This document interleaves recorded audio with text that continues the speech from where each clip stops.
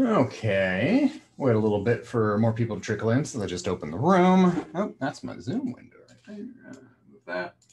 Okay, wait a little bit. Um, but yeah, I'll get moving in just a minute.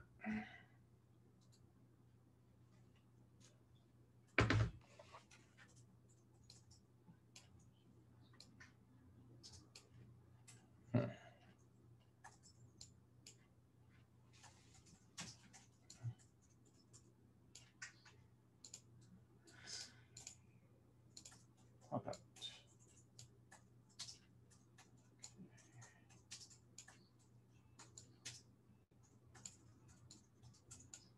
That. No, let's pop that back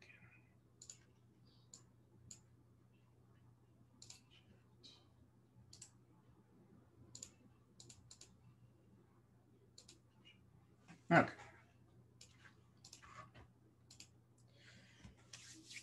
Oh. There we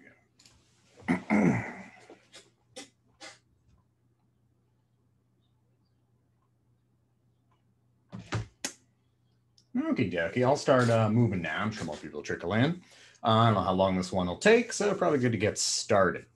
Um, so I think I mentioned uh, last time um, that would sort of be bounding for a minute back to more um, kind of applied stuff that we'd spend some time on pivoting like we did last time and try to like show you some nice applied stuff that you'll probably use in a lot of your projects. Um, before we pivot back to uh, something else that's sort of um, abstract and technical and a little bit harder. And so I bring to you the hardest lecture of the term for most people. This will be the sort of uh, the peak. It should be smooth after this, um, which is talking about loops.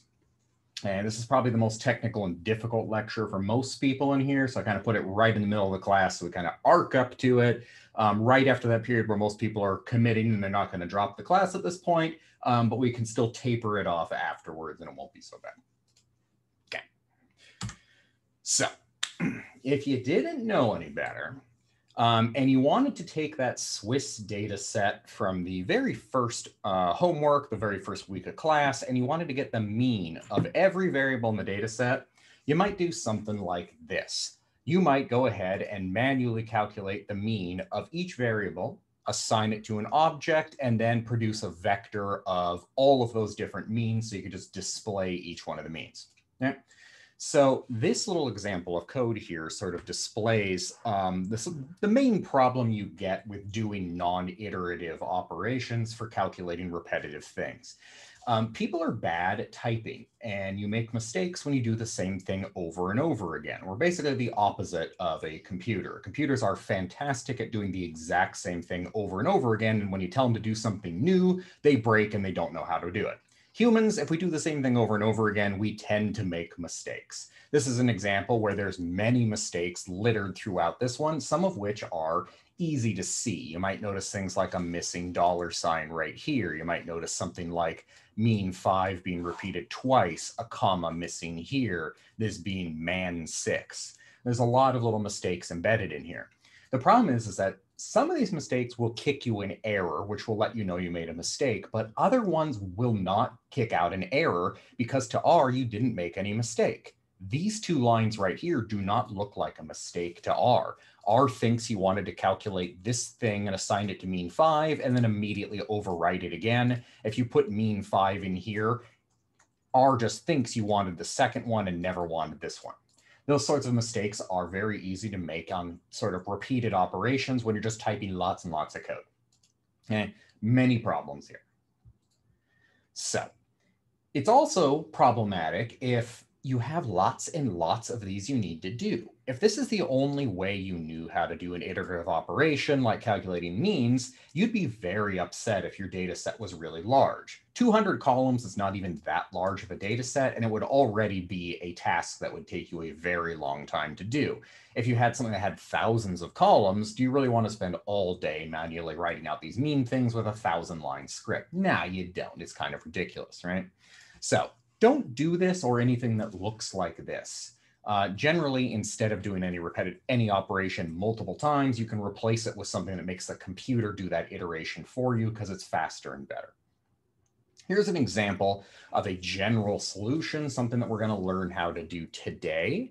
Um, this is calculating all of the means of the columns in the Swiss dataset using a loop instead of doing it manually.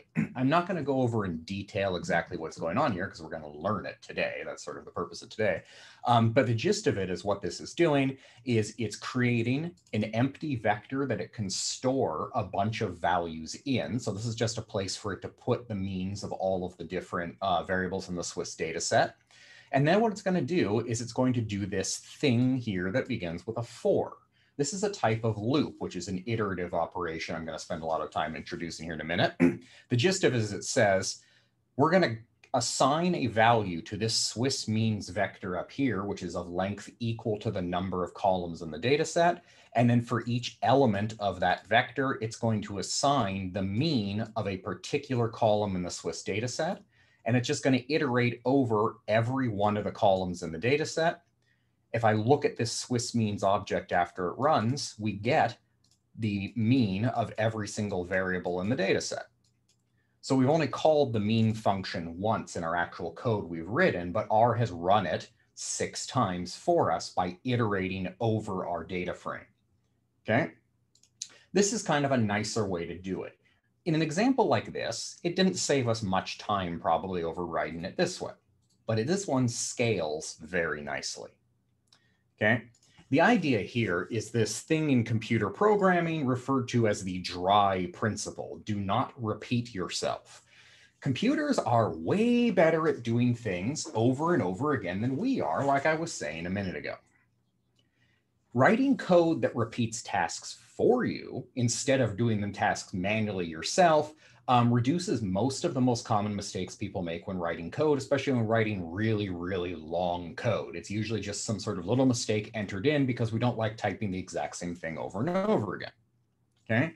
Another thing is that this operation substantially reduces the amount of time it takes to process large volumes of data. And when I say reduce the time to process it, it's both your time you spend, which is the most valuable thing, and also computing time, which is less valuable, but sometimes can be important. And another thing, this code will be very small. Small compact code is much easier to read and it's much easier to troubleshoot. If I made a mistake here in my loop, I only have to look over one or two lines of code to try and find where my mistake is. If I was running this over a lot of columns and I had 50 plus lines of this, I have to scan through a lot of text to try and find a problem. It's much better to have code like this where it has to be isolated in a small area than spread over tons and tons of lines of code. Okay. Um, so something I will say about this loop back here too, right? Um, if we wrote it this way, this scales linearly. Scaling linearly means for every additional variable in the data set, I have to write another line of code. This doesn't even scale at all except in calculation time. If the Swiss data set here had 100,000 columns, I would not have to change a single character in this code. It would run over every all 100,000 columns and put it out for us. Not a character would have to change this is something that's really nice about like loops and most iterative operations is that if you can you can write them for a small test set or a small example and then change nothing and have it run over your entire data set data frame which doesn't work for those individual operations. Okay. So the agenda for today uh, today we're going to first talk about for loops and a little bit on while loops. These are general programming methods um, that apply to most programming languages in existence. We're just going to kind of talk about loops for a bit. Um, then at the end, I'm going to talk about, uh, after traumatizing you with loops for a while, how to not write loops, because it turns out it's better to usually not write them, but they're so powerful and useful, you need to know about them. Next week is going to be following up on these sort of principles of programming by teaching you how to write your own functions in R and how to loop and iterate using those functions which is sort of the, the real fundamental power of R comes with writing your own functions and iterating over those functions. Okay, so let's begin with loops. Uh, this is one of those examples where I'm going to be bad, and I will just cite Wikipedia because they have an excellent definition of what a loop is, one of the best and most succinct ones I've seen.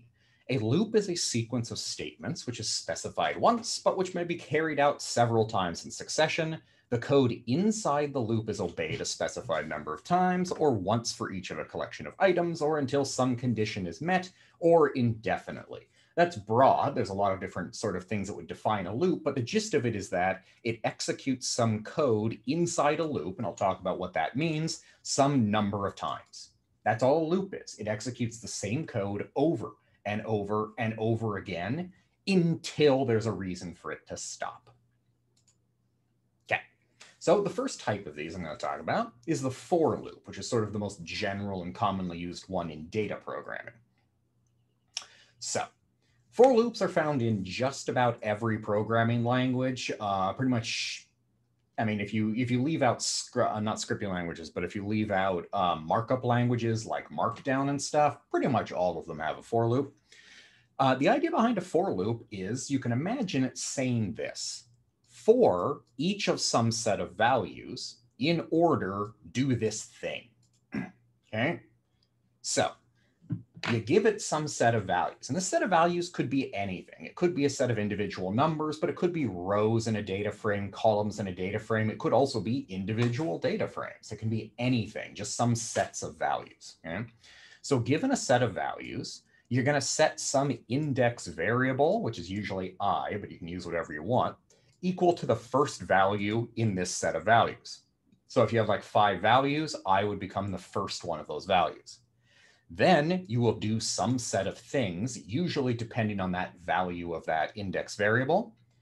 Then once you're done doing that, go and check to see if there's another value. If there is another value, update your index to that value, go back to two and keep doing that until you run out of values. Once you run out of values, you exit the loop, the loop is done. The idea here is we are looping through these values, repeating some actions. Graphically, a loop looks like this, and this is why it's called a loop. So given some set of values that you have, let's say we set this index variable i, we set it to the first value in our set of values. Then we're inside the loop. Inside the loop, we run our code that's in here using i in some way. It could be some very simple thing, it could be some very complicated thing. Then once it's done running the code, you check to see if there's more i values. If there are more values in our index, we say yes, set i to the next value, run the code again. If we have 10 values in our set of values, it would go looping around 10 times. Then when it's out of values, it would say, are there more values? Nope, get out of this loop and it's finished running. So that's the way they work. The loop is just running through this process until it runs out of things to do and then it stops. Okay, let's see these in action. This is a trivial loop in R. We're going to say for i in the values 1 to 10. So this function here, it's not actually a function. It's actually sort of declaring that something, uh, some uh, sort of programmatic statement is going to follow. So for i i is going to be our index variable. This here is going to be what is going to be replaced inside our code with each one of our values in our set of values. So you say for i in, and then you give it a set of values. 1 colon 10 is the numbers 1, 2, 3, 4, 5, 6, 7, 8, 9, 10. This is going to be our set of values. So what the loop is going to do is it's going to set i to 1, run the code inside the loop, then set i to 2, run the code inside the loop, then 3, then 4, then 5, 6, 7, 8, 9, and 10. Okay, so in this toy example here, if I run the loop, this is the output I get. Okay, you'll notice here, this is actually just the output of running the print command 10 times. And the only thing I've done is I've changed the value of i. So first it was one, so one squared is two, two squared is four, three squared is nine, so, so on up to uh, 10 squared is 100.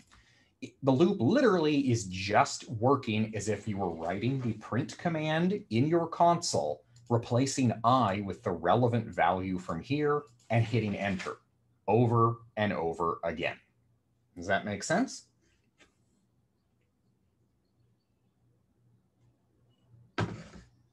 So these things on the left side and on the right side are doing the exact same thing. this loop says for i in the numbers 1 through 3, print i squared. So you get 1, 4, and 9. What the loop is actually doing, what it is actually doing is this. It's setting i to 1, the first value. It's running print i squared. Then it's assigning 2 to i, doing print i squared, then assigning 3 to i and print i squared. The loop is not doing anything at all different than this. It's just taking care of doing this assignment for you, no matter how many values you have. That makes sense? It's not too much magic to it when you see it in a nice little toy example like this. Um, the power of it comes when you figure out interesting ways to iterate over things and change values and use them in more powerful ways, which is kind of what we're going to show today with what will eventually escalate to a pretty absurd example of iterating over things. Okay. So conventions on iterations. We call uh, whatever happens in a loop for a particular value. So in that case, a particular value of i, so as long as i is equal to the number one, everything that happens while it is the number one is an iteration. Okay, so whatever happens in that loop for a single value is an iteration. It's very common in a loop to iterate over indices like 1 to n. That was the example I just did before. We're going to loop over 1 to 10 n here might be something like the length of a vector that we want to assign things to, or the number of rows or columns in a matrix or a data frame, or maybe the length of a list. There's all sorts of things you might iterate over like that. Common notation for loops that you'll see in R and most programming languages is that often I will be the object that holds the current value inside the loop. If you have loops inside of other loops, it's really common for people to iterate over I and then J and then K. Usually I is inside, then J and then K. This is just sort of arbitrary conventions borrowed from math. Okay? So the idea behind loops is very similar to indexing notation in mathematical symbols. If you've seen mathematical symbols like this in your stats class, this says, I want to take the sum of a bunch of numbers, the number amount of numbers, there are n numbers, and I'm going to begin with my index i equals 1. So I'm going to begin at the very first number. This is a loop. This is a loop that says I want to sum for n numbers i set to 1 in the first iteration and then iterate until i equals n. Okay. Um, so the thing about that is, is if you see any mathematical notation that looks like this, you can write a loop and it will give you the same result. You can convert summation operators, cumulative product operators, things like that. You're literally just going to say for i in n sum i's, basically. And you can create anything you see a mathematical formula. of. So if you're doing things like, say, writing maximum likelihood formulae and they sort of feature things like this, you could do it this way writing loops and you'll get the same answer. Okay. Um, a thing to note about this notation with the i's, the j's, and the k's, in R, i, j, and k are just normal objects you created, so you can name these things whatever you want when I'm iterating over stuff like rows and columns of a data frame or matrix, I don't use usually I and J and K. I usually just name the object row or column. So I'll say something like for row in all of my rows, we iterate over that. And so I know exactly what I'm iterating over in the loop. We'll see examples of this as we go on today. Okay. So thing about loops, you can iterate over any values you want. Like I kind of said earlier, you could loop over not just numbers, but you could loop over rows of a data frame, columns of a data frame. You can also loop over things like letters or words or sentences. Anything is a value that you can iterate over. So here's an example. I'm going to create a vector called some letters. Some letters is going to be the fourth through sixth letters of the English alphabet, which is the letters D, E, and F. If I say for i in some letters, just print i, it's going to print D, then it's going to print E, then it's going to print F. I can iterate over characters just the way I iterate over numbers. And the thing about loops is when you run a loop like a for loop for this, it creates the object i in your environment. And when the loop is done, it just leaves it in your environment. If I hit i at the end of this, it's just going to print f again, because that was what i was the last iteration of this loop. It's literally just creating an object as if you'd assigned it manually and then running this code over and over again, once for each new assignment of this value i. This all makes sense on here so far?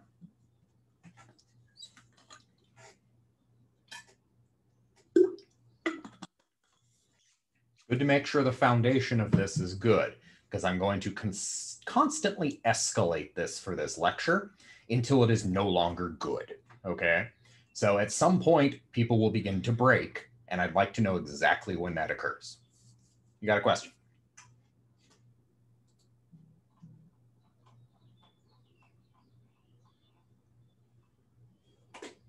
I see your hand. I don't hear your audio. Sorry, can you hear me now? Ah, yep, just fine. Okay. Um, I don't understand why I, when you just run I, it just equals F. Sorry, can you? Yeah, because it's doing this. This is actually what the loop is doing. So for i in 1 to 3 print i squared, I get 1, 4, and 9. The loop is actually assigning first 1 to i, then 2 to i, then 3 to i. If I run this loop over here and then I just hit I again, it's just going to give me nine again because the last operation of the loop assigned three to I. Does that make sense? Yep. Thanks, Chuck. Yeah. Okay, so I keep getting an error. Some letters object, some letters not found. When I run some letters, letters four through six, make sure you're running that first line with the some letters here. You should have a some letters object in your global environment before running the loop.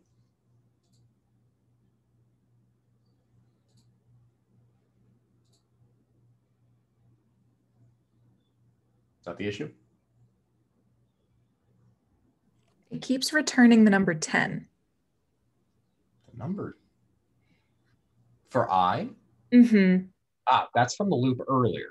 So that's probably the result from this loop all the way back. Where was it? Uh, not this one.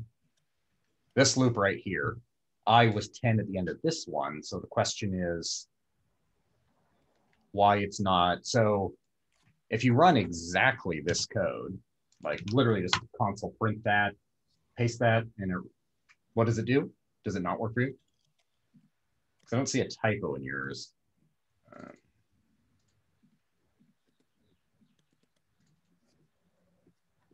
really? Yeah, no, it's not. What does it do? Um,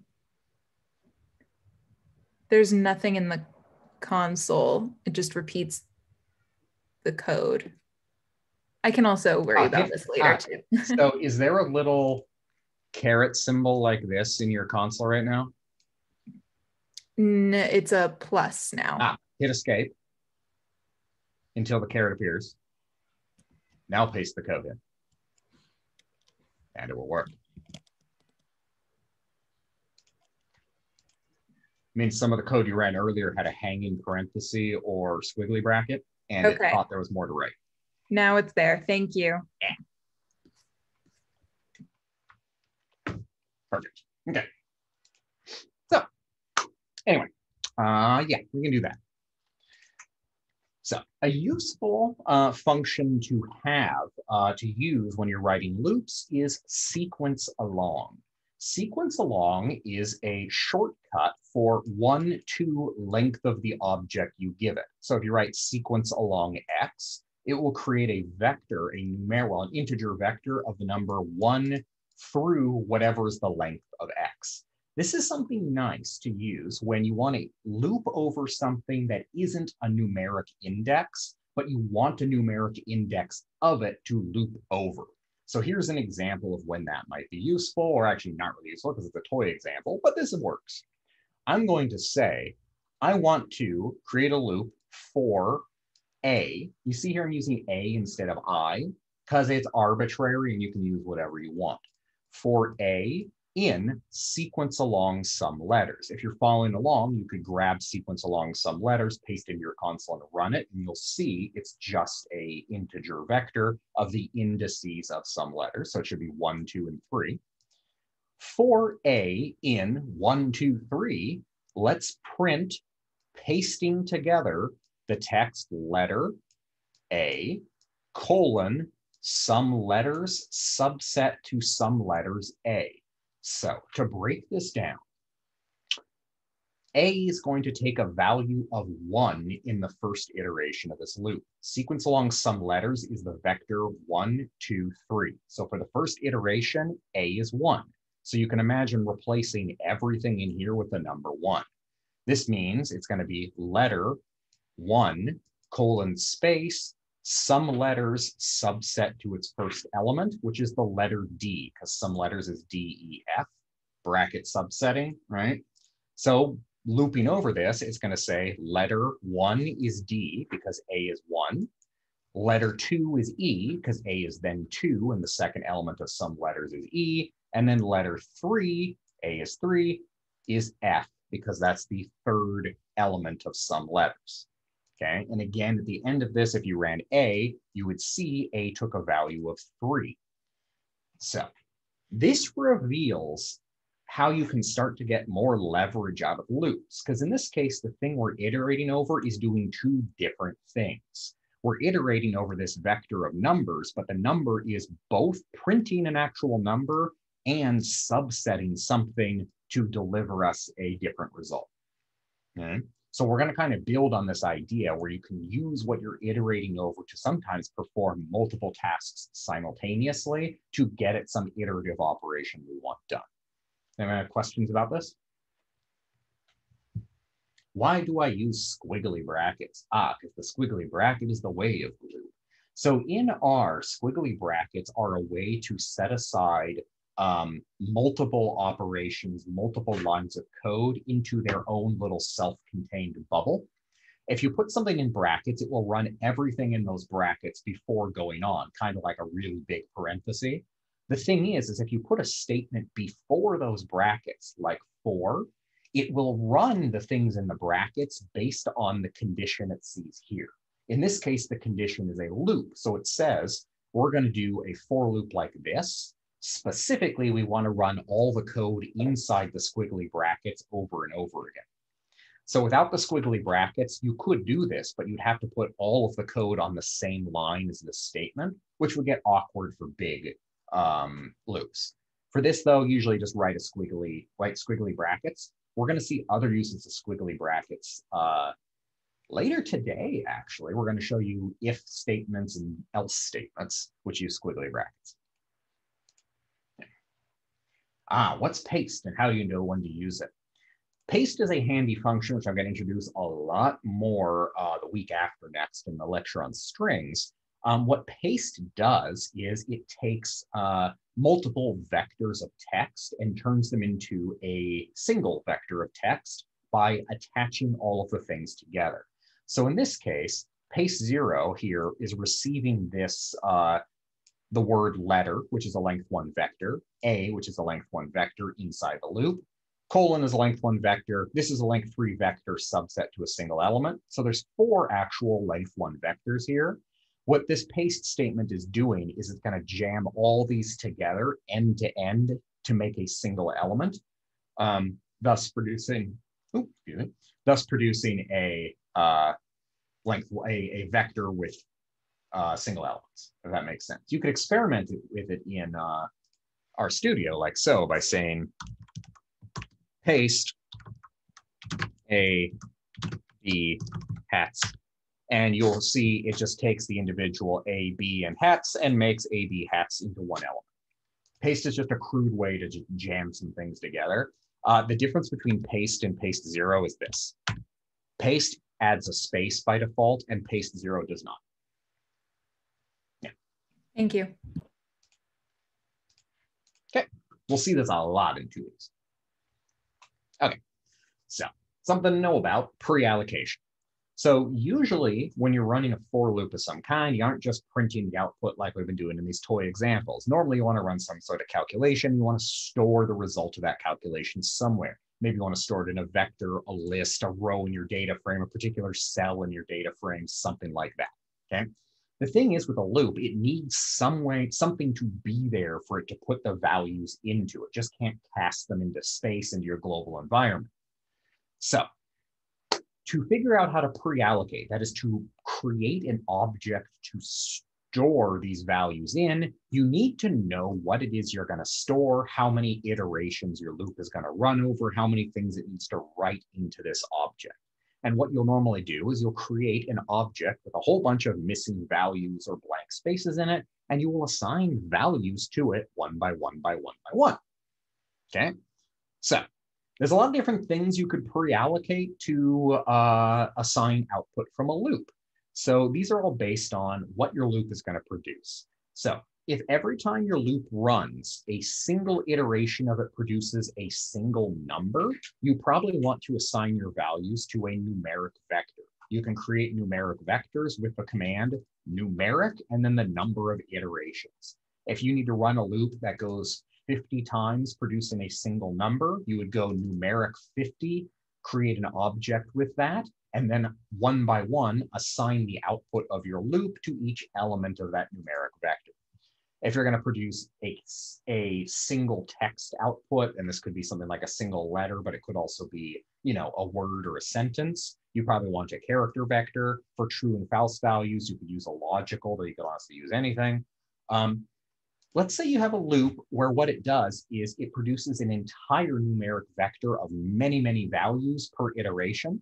If every time it runs, it produces the same number of numbers, so it doesn't produce a random, some sort of unknown random number of numbers, you could assign it to a matrix. So you'd say matrix, fill it with empty values, NAs. The number of rows might be equal to the number of iterations, so that each iteration of the loop writes a new row to the matrix, and the number of columns would be equal to the length of the vector that's output by your loop. So if your loop puts out a vector of five numbers every time it runs, and it runs 100 times, you would have five columns and 100 rows. Each row would correspond to the output of a single iteration of your loop. Now, if you're in a case where your loop is going to produce something bizarre, you have maybe either no idea exactly what's going to come out of the loop, or you need to produce complex objects, like say your loop, every iteration, it runs a model and the model produces a list. Just create a list with vector of type list with a length of the number of iterations. You need to run 10 models from your loop. You just want a empty length 10 list, so you can put one model in each slot. We're going to do this later in this lecture where we run a whole bunch of models iteratively um, and then do something even crazier with those models afterward. Way to do that is stuff them in a list. In more advanced applications of R, you could do things like stuff a model inside a cell of a data frame, like a Tibble using dplyr. I don't teach that in this class, but do know you don't necessarily have to use lists. There's a lot of more advanced ways to do this stuff. Okay. So Here's an example. Ah, so here, what happens if you put in the wrong number of iterations? That's an excellent question. And one of two things will happen. If you put in too many, you're going to have an object that has a bunch of extra blank spaces in it. If you don't put in enough, R is going to kick an error when it runs out of places to put it. So what I normally like to do is to make it so the exact same definition in my code um, controls the number of iterations and the length of the thing I'm assigning to so that it's forced to always be correct. Um, later on, I'll show things that remove the need for pre-allocation. Loops require pre-allocation in general, but there's other ways you can do iterative operations in R that pre-allocate for you, but they're more advanced. Okay.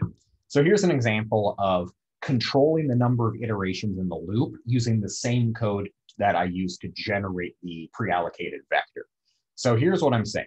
I'm saying at the beginning, I'm going to create an object called iters and assign the number 10 to it. This right here, this object iters is just going to control the number of iterations in my loop later. I can set this to whatever I want. If I want this to run 100 iterations instead, the only thing I need to change is this number up here. Okay. So I say iters is the number 10. My output my pre-allocated vector I'm going to store some values in is going to be a numeric vector of length equal to the number of iterations. So this is a length 10 numeric vector.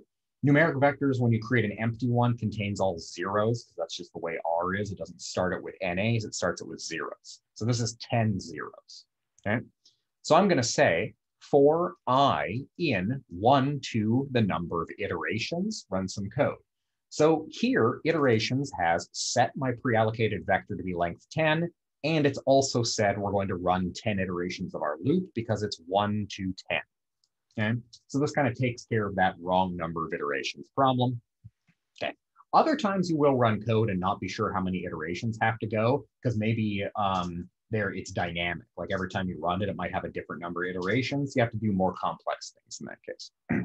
so here I say for i in 1 to 10, because iters is the number 10, assign to output element i the results from this math over here. It's some sequence I forget the name of. It's just i minus 1 squared plus i minus 2 squared, and then display the output. So this loop, right, it's going to replace i with 1, then 2, 3, 4, 5, 6, 7, 8, 9, and 10 for each iteration of this loop. So output, the first element of output is going to be equal to 1 minus 1 squared plus 1 minus 2 squared. Well, that turns out that's the number 1. Output 2, element 2, is going to be equal to plugging in 2s here, then plugging in 3s, 4s, 5s, 6, 7, 8, 9, all the way up through plugging in 10 for this calculation. So again, the loop is doing multiple operations with what I'm iterating over. I'm iterating over all these values here, replacing i with each one of those values. But the i is both subsetting the thing we're going to assign to and doing some math at the same time. Okay. Does this make sense what I'm doing here? If you have questions about this, that's confusing.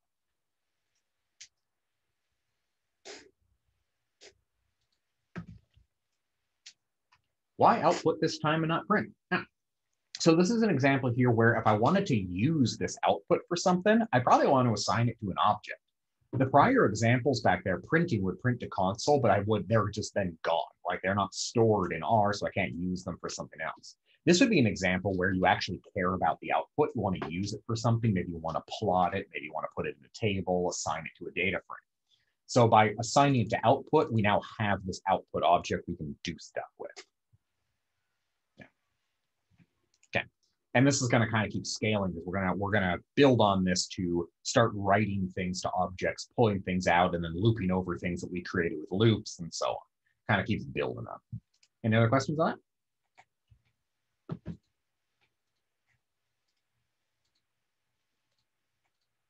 okay. What you got? Yeah when you so when you put uh the output i in those brackets you're essentially saying that this column will have this output 115 13 25 in this case it's a vector so it has elements rather than columns. It only has a length. So this is saying the first like in the first iteration it would be element one of output in the second iteration element two of output but basically the same idea if it was a data frame you know you, you would do like if you were doing columns it would be um, blank comma i and then it would iterate over columns Does that make sense yeah, I see. Thanks. Yeah. So yeah, this is where we're using our nice subsetting brackets we've used in the past, but now we're using them with something that's dynamic and changes over iterations and stuff, which is kind of why it's important to know about using the square brackets here instead of like dplyr stuff, because it's hella easy to use this in a loop, but it's really awkward to use a lot of the dplyr stuff in loops. Okay. Good so far? Keep chugging along. Okay, here's a handy function I just like to introduce because I love it. Anything that allows me to be lazy and type less is useful. The function set names is really handy for pre-allocating things. So let's say we have a bunch of names we want to use for something. This is me using paste again. I'm saying I want to paste together the text iter space and then the letters one through five because of vector recycling in R, it's going to result in a length five vector where it repeats iter five times and attaches it to A, B, C, D, and E. It's a quick way to make some names I might want to assign to something I want to pre-allocate. Now, if you want to do that, let's say you want iteration A through E, and you want these as the names of a length five numeric vector, you could do this.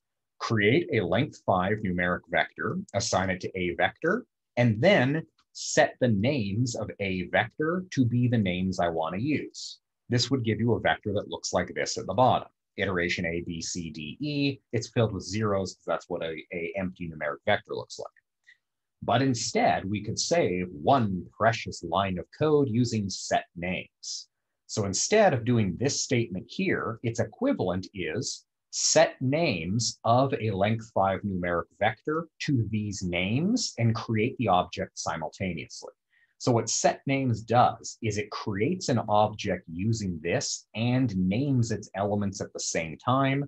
Thus, this operation here does the exact same thing as this operation here, but you write one less line of code.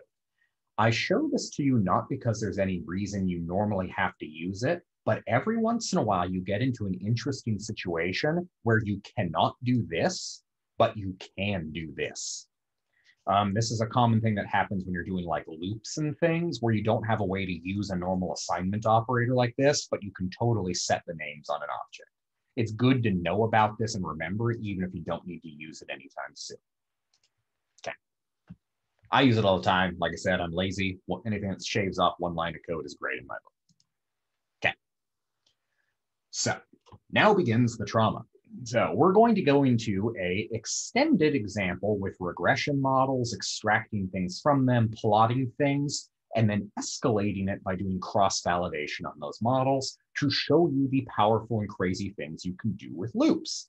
Um, and these are things you yourself might want to do at some point, and then you can build off of the code I've provided in this class rather than sort of um, being cast out into the wolves. Okay, cast to the wolves rather. So the premise here, okay, um, imagine we have some data, some sort of data set we have. And what we want to do is try to fit a bunch of different regression models to it. In this particular case, we're only going to fit a few models, but in principle, you could fit many, many models if you wanted to. Okay. So what we want to do is we want to store the results of fitting each one of these models as the elements of a list so that we can compare the results of each one of these regression models. So we want to run many models, store each model as a list element, and then compare each one of these list elements in some way. okay, so to do this consistently, we're going to write a loop. You could run the models individually in our exam simple example here, which only runs like four models, but this code I'm going to show you would scale really nicely. It would work the same way with one model or two models. It would work the same way with 200 models, 2,000 models, or 200,000 models. The code will work exactly the same no matter how many of them you have. Scaling code like this is really nice. So if you want to add something later, you don't have to do anything. You literally add like one more formula or something, rerun the code, you're done. Okay. So after we run the models repeatedly, we're going to do something even more advanced. We're going to use cross-validation on these regression models to get an estimate of their accuracy in predicting out of sample values. This is a sort of machine learning style technique for validating uh, for validating models to see which one performs better in an actual data set. Okay, so you're going to learn some complicated things here. If you don't have any statistical training, pay attention to the programming components of it, largely ignore the statistical stuff. This is really about the programming. I don't really expect people are familiar with uh, linear regression in this class, but I imagine most people probably are. Okay. So to do this, I'm going to simulate some fake data really quickly. Uh, I'm not going to really get too much into what I'm doing here. Um, but the gist of it is I'm going to uh, set a seed, so I always get the exact same results every time I run this uh, lecture. I'm going to say I want 300 observations by assigning 300 to n here. I'm going to generate some predictor variable x from a normal distribution, 300 observations of it with a mean of five and a standard deviation of four, because those are arbitrary numbers I decided to choose when I wrote the slide. And then I'm going to create some simulated data. My simulated data is just a data frame where X is the X I just created, but Y is some value calculated based on a function of X. In this case, negative 0.5 times X plus 0.05 X squared plus some normal distri- normally distributed error. R norm 300 SD1 is a standard deviation one random error term on here. Um, not that important. Okay, but this is sort of the general code. If you want to create like test data sets to evaluate something, this is how you'd simulate a simple data set that has, in this case, a quadratic relationship between X and Y. You can do this. Um, so there's a funny story you could click through if you're interested in here in the slides. Um, there was a big scandal in 2014 in political science um, when a grad student faked data for a big field experiment. It was a pretty influential paper.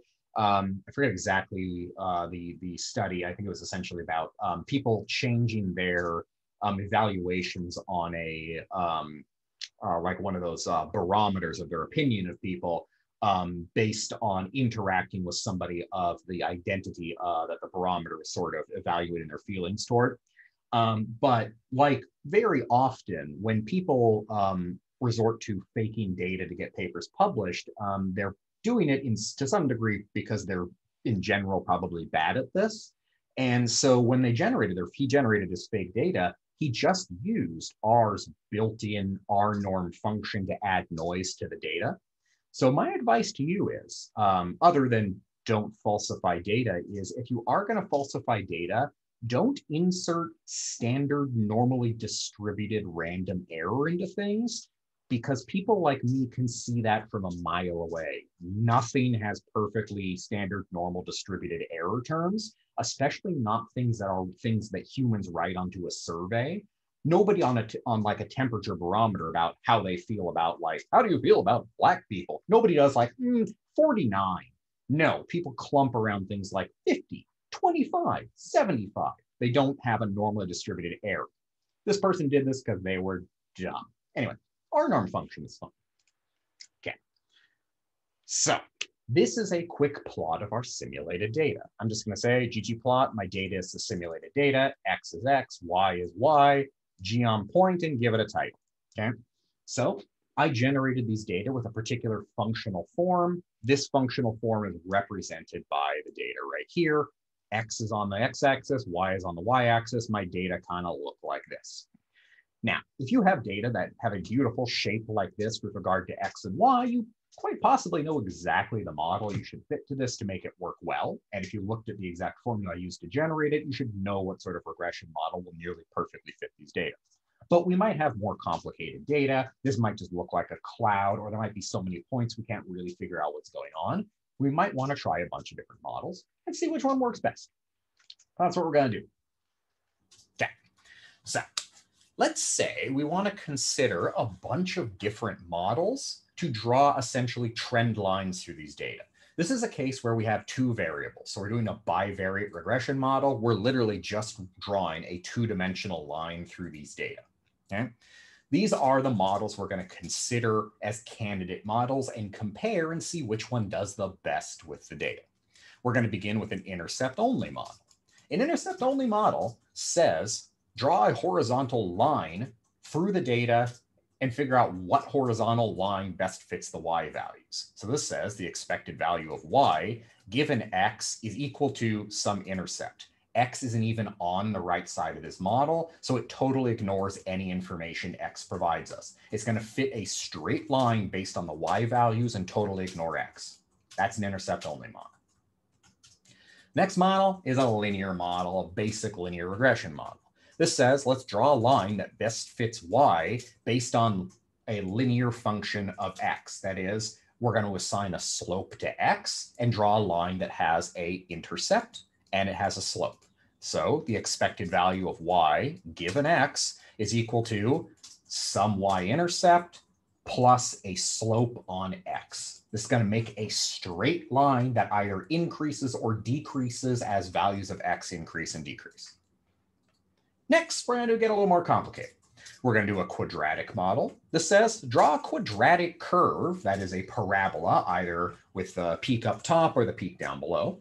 A parabola that best summarizes the y values as a function of x. So the expected value of y given x is a intercept, a linear slope on x, and then some curvy slope on x squared. Well, technically speaking, it's a linear slope on a curvy x.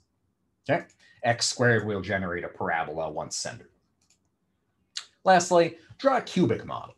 Cubic model says draw a cubic curve that best summarizes the values of y as a function of x. This just adds a cubic term over here. I'll tell you right now that um, every additional term of polynomial you add to something makes a less realistic assumption about how the world works if you're working with actual real data it's relatively rare for anything in reality to actually have a cubic uh, sort of functional form. Sometimes in behavior, you see it across certain sort of predictors. Um, age is one that sometimes exhibits cubic forms for things like deviance, like drug use tends to be cubic because it peaks in like adolescence, drops through middle age, and then goes back up when people retire, funny enough.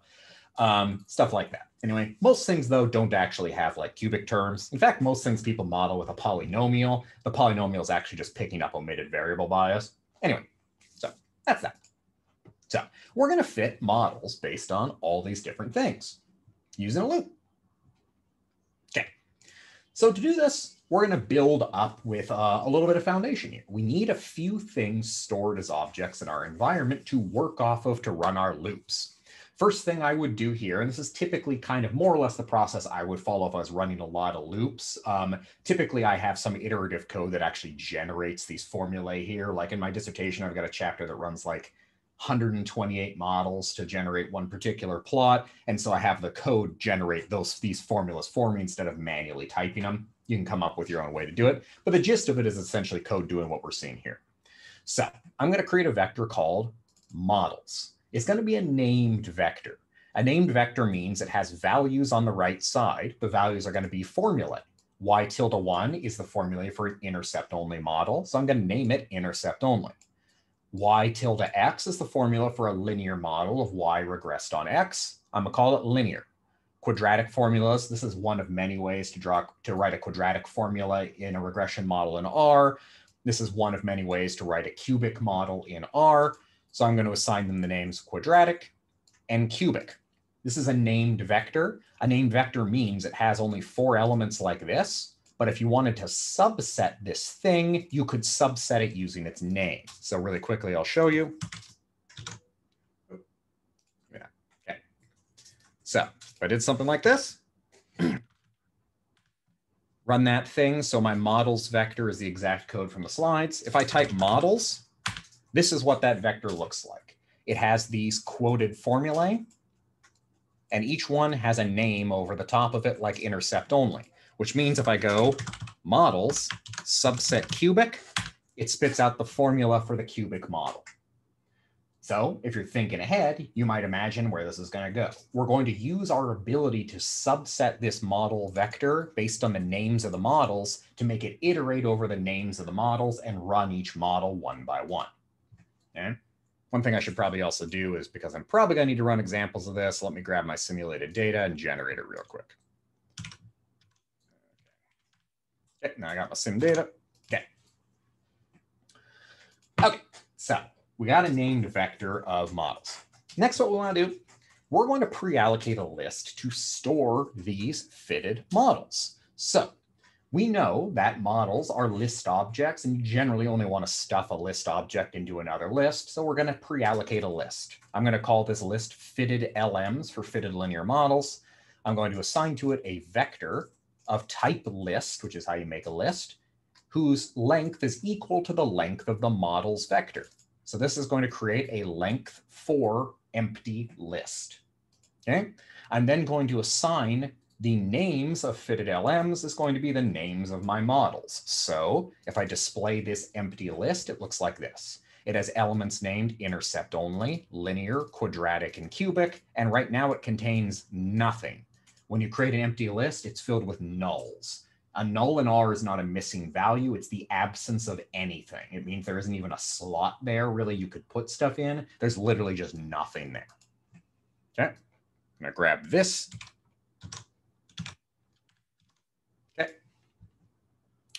So what we're going to do here, we're going to fit models in a for loop.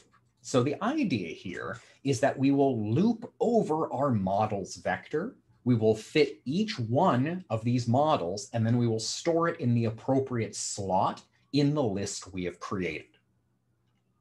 Okay, so To do this, we're going to use a handy little function here called formula. Formula converts a character string which describes a model into an actual formula object you can read with lm. So in R, you're probably used to seeing formulae written like this. I could say something like lm, uh, let's see, eh, mpg tilde weight data equals mt cars. I can run that and get a regression model of miles per gallon on weight in the MT cars dataset built into R. Notice how I wrote the formula though.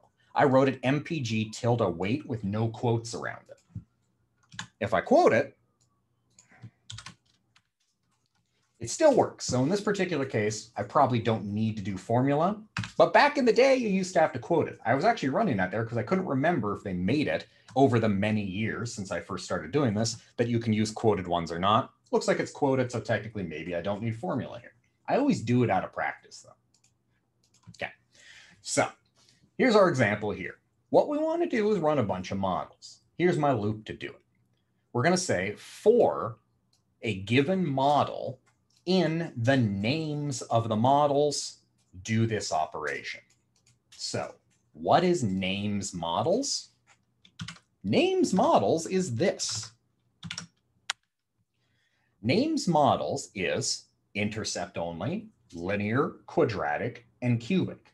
So that means for every iteration of our loop, the variable mod we created, the object mod, will first be intercept only, the text, then the text linear, then the text quadratic, and then the text cubic, right? Okay, so for mod in names of models. Let's run through this loop one time verbally using a value of mod. So imagine we're in the first iteration. Mod here, everywhere you see mod is replaced with the text intercept only. So what this is saying is take the fitted LMs list, subset it to the element of the list named intercept only, and then assign to that the result of a linear model using a formula the formula is the model's object subset to the model named intercept only. So model subset intercept only is y tilde 1, the intercept only model, and our data is equal to the simulated data.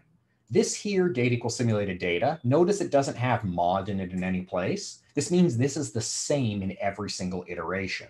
The only things that change in our iteration are which formula I'm giving the linear model and which slot in the fitted LM's object I am assigning it to. Okay, that makes sense. I'm going to grab this and I'm going to run it. And I'll show you the output. Do I have it? Okay. I run my loop. You see it's very fast. It's very quick at running lots of models. If I look at fitted LMs, Fitted LMs now contains all of these linear regression models. The intercept only model, which only has an intercept. You can see its formula here. It says formula equals formula models mod. It doesn't populate it with the actual formula we gave it. It's the literal call we use to run it. The linear model looks like this. The quadratic model looks like this. And the cubic model looks like this. It's estimated all of these models iteratively using our loop code. Okay we can look at the component parts of this. So if I say, for instance, eh, let's just grab that.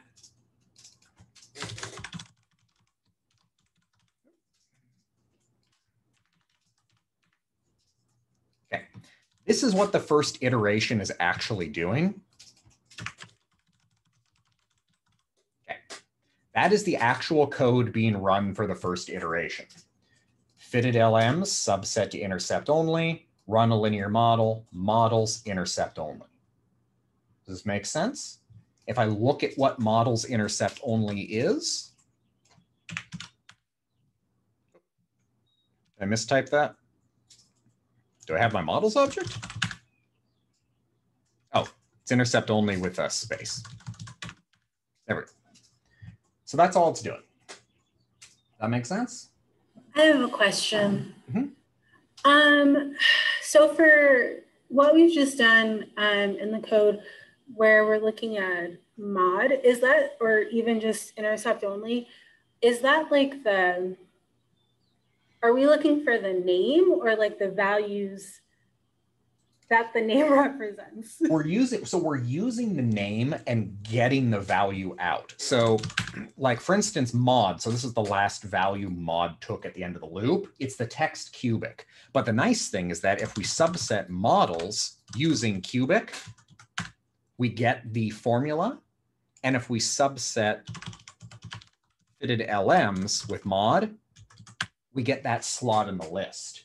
So it's getting two different things using the exact same name because they're named objects. Does that make sense? Yeah. this is sort of the power when you start to figure out ways to use the same information in multiple ways simultaneously to perform some sort of handy task. So of course it means that the, the, difficulty here is figuring out the logic of how to do it. It's like, this looks beautiful in principle, but I know what I'm doing. Figuring out how to make this work nicely is sort of the game you learn over time. So any other questions about that? Are we good? Because we'll keep escalating.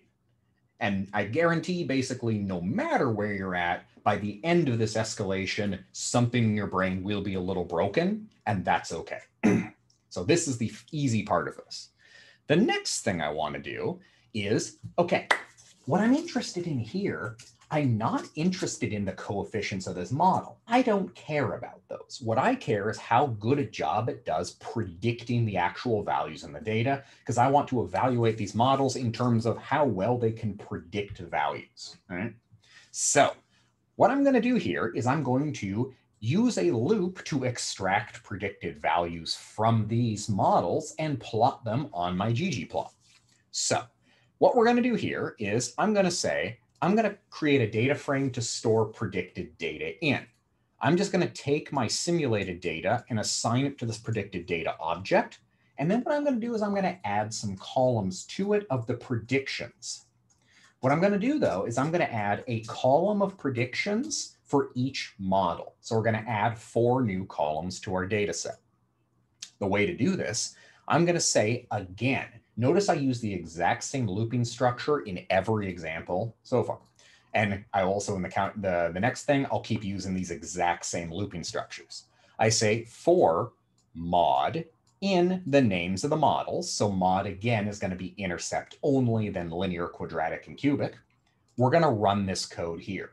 We're going to say subset to predicted data, the name of the model. The thing is, if we look at our predicted data,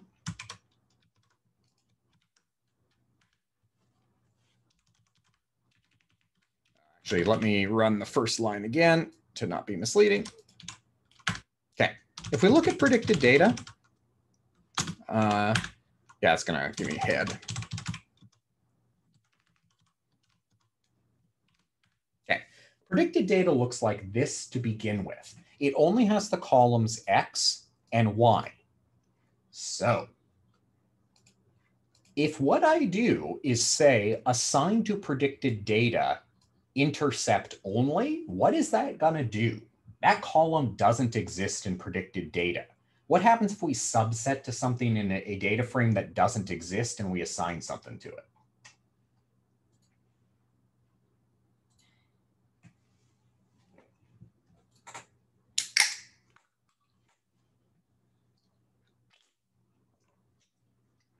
New column. So if I just subset to it and it didn't exist, it would give me an error. But if I subset and I assign something to it, like I'm doing here, then it's going to create a new column. This is the interesting thing in R. You use the same operator to retrieve something out as you do to assign something to it. But if there's nothing there in the data frame and you assign to it, it makes something there as long as it fits. Okay, so this is very powerful. Yes, that's exactly what it is down there in chat. This is exactly the same thing here as doing predicted data dollar sign, for instance, intercept only and assigning something to it. It's how we create columns. You can create them using names as well. It is cool. So what we're going to do here is we're going to say, I want to assign to predicted data to the column named intercept only the result of running the predict command on the fitted LM's object named intercept only. So this is going to be the results of the intercept only model. And its data for the prediction is going to be predicted data. It just so happens in this particular case, the predicted data is the exact same X and Y variables used to generate the model. So all we're actually doing with predict is generating fitted values in the models. If you wanted to just get fitted values, the easier thing to do would be to use the fitted function um, and it would just extract them for you. But I'm showing you predict here in case you want to change the data because we're going to do that in the next example. Okay, so we say, um, okay, this is fitted or this is intercept only, this is intercept only. The neat thing is mod changes for each iteration of the loop, which means for every iteration of the loop, it creates a new column in our data set, right? Because it creates a intercept only column, then a linear column, then a quadratic column, then a cubic column. So if I run this code again, and then I look at predicted data, uh, let's send it to head, not ehad. Now it looks like this. We have our original X and Y column, but now we have new columns from intercept only, linear, quadratic, and cubic values. So our loop has generated all these new columns, which contain predicted values from each of the models for each value of X uh, in the data, right? Okay, you can see some of these models, these behave the way you'd expect. So if you have an intercept only model, an intercept only model predicts literally the same value for every observation in the data. That's what it thinks is the y-intercept. So it's the same here linear model than quadratic and cubic, we would expect the quadratic and the cubic to be almost identical in this particular data set. Okay. Questions about that?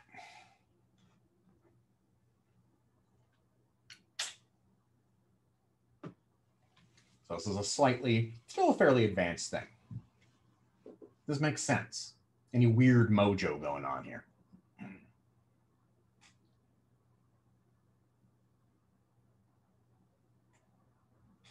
Nothing too bad. Okay, I will continue to escalate. We'll see where we go from here. okay, so these are those predicted values, exactly the same things I showed you in the console. What we want to do though, yeah, what you got, Yusuf? Yeah, sorry. Uh, so, uh, so say you decided that you didn't want intercept, and then you just wanted um, uh, the other, sorry, uh, mm-hmm. the other, uh, just wanted to run the other regressions. Like, is there, like, what is the quickest way for you to to delete remove... this line and rerun it? Okay, just yeah, take it out from right there. Yeah. That makes sense. Or subset it somewhere else later and remove it. Um, you know, but probably the easiest would be to say, don't run this one. Same things if you wanted to run instead of running these models, you had some set, like I said, of like a hundred models and you've got their formula and names. You just create a longer vector. And if you have a longer or shorter vector of models, you would literally change nothing else. So you could, I mean, if you're sitting there working on this code, you could make any arbitrary models you want here as a function of y and x, add them to this list, and you won't have to change a letter of any of this other code. It will run those models too this is sort of the beauty of it is that this is all sort of packaged in a way where the only thing you got to change is this thing here and it can rerun all the models generate all the predictions everything without modifying a thing cool. question Kelly? Yeah, this is kind of going back, but um, just on that slide how do they know that those are formulas? I thought that when you had the quotations, it lumped it all as a string.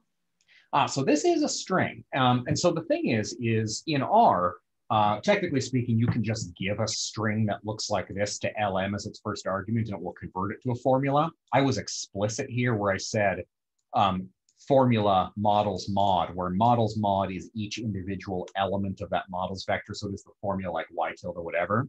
Formula explicitly converts it to a formula. So if I show you like this, if I say um, in R, like y tilde x, that's just the text y tilde x. If I type y tilde x with no quotes, I see that. Well, if I say class y tilde x, it's a formula. R recognizes this as a formula and it treats formulae differently than other objects. So class y tilde x is character, what I'm doing by saying convert y tilde x in quotes using formula is it turns it into a formula for me.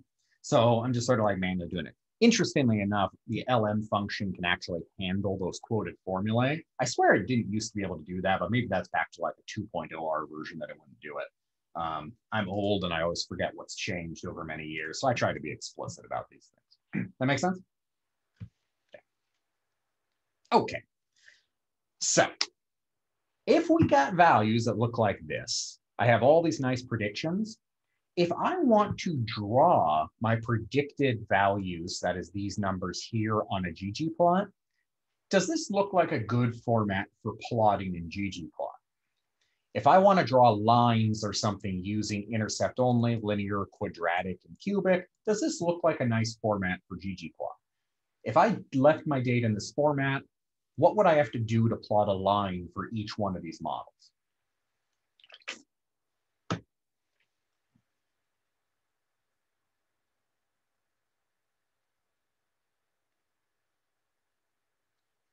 Could I just do geom line and plot all of those columns?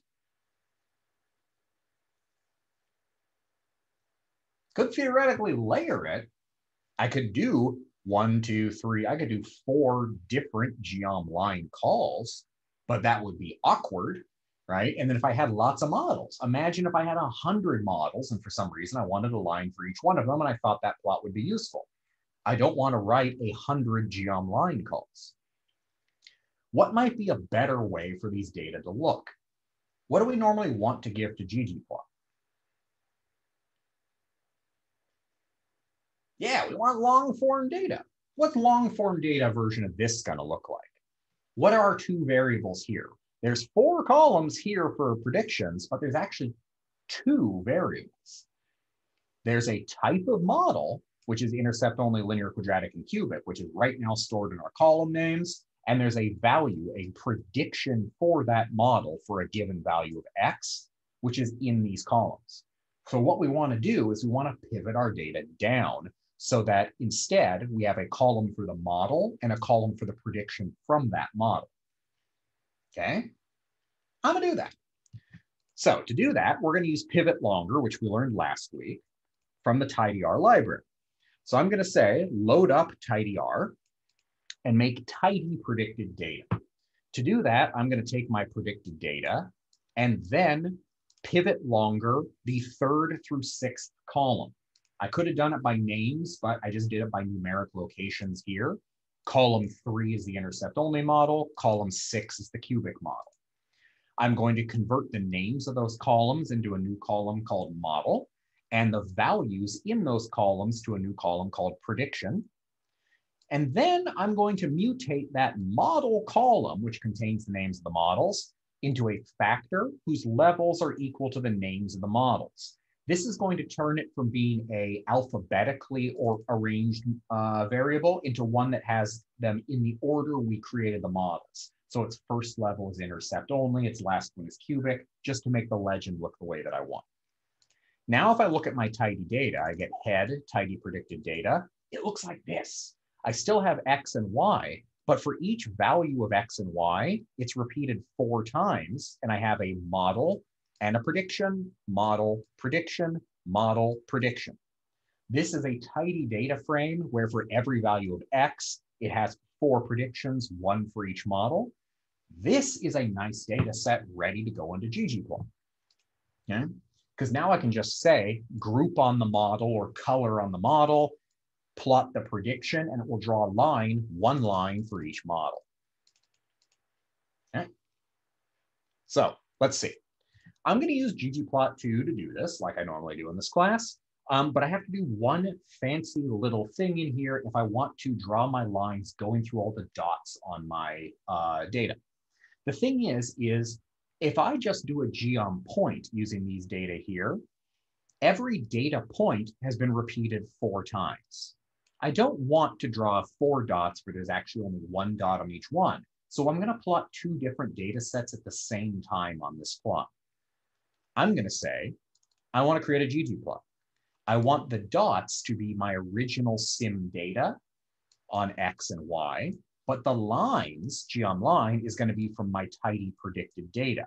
Their X values are still X, their Y values are now the predicted values. They're going to be grouped and colored by their model. I make them partially transparent because they might overlap with some stuff I want to see. I make them kind of big. I give them um, a title and I make it theme black and white. Okay. We get this.